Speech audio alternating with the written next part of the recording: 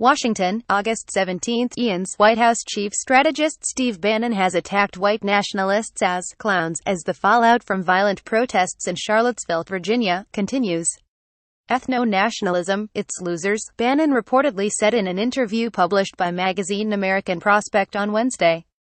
Bannon's comments follow a weekend of turmoil in the U.S. after a white nationalist Unite the Right rally in Charlottesville last week turned violent following clashes between far-right and counter-protesters, CNN reported.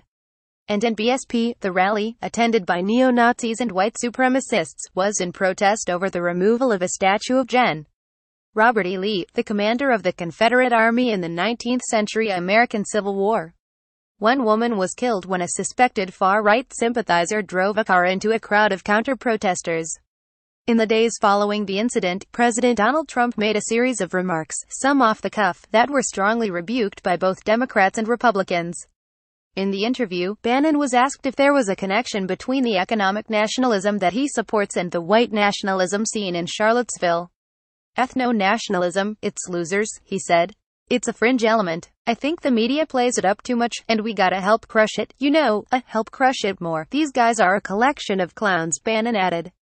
Bannon, the former editor of the far-right news website Breitbart, is a controversial figure within the White House. A source close to Bannon told CNN he did not believe he was being interviewed when he spoke with the co-founder and co-editor of the American Prospect. Bannon and the White House did not comment on the interview.